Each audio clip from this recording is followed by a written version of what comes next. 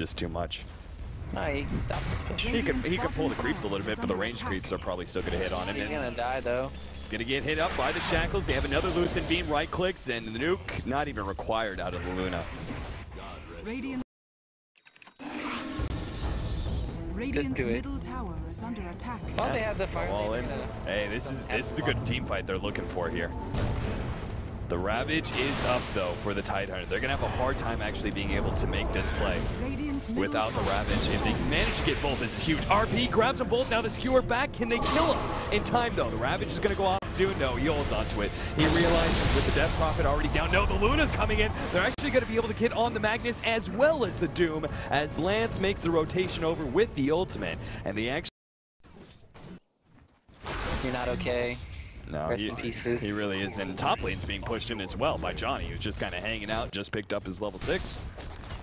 Radiant's bottom tower. And here I under thought that rotation was a smart play there from Scythe, but Radiant's Lance bottom tower has fallen. making a It was quick like TP their in. only play.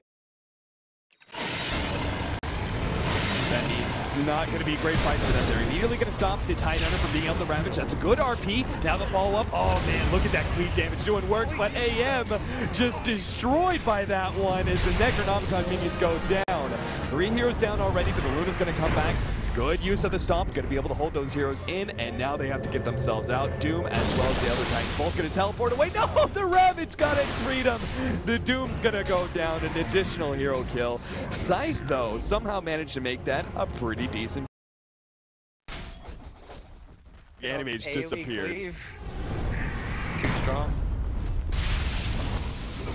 Stop misses. They're going to start moving forward on the Tidehunter. They know they're alone for now, but Luna's going to pop that ultimate, start turning. The ultimate goes out, but Tidehunter's still alive. Meanwhile, Luna fighting up, pops the BKB, decimates the whole entire squad.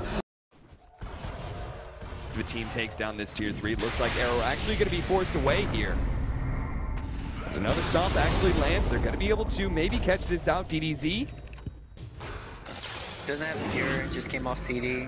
Unfortunate. So it would have been a free kill on DD.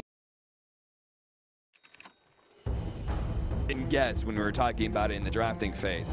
Uh, it just all came down to the draft and superior drafting by Arrow. Uh, was uh, they just came back and crushed both of these games. I think they just got completely, yeah, kind of outpicked.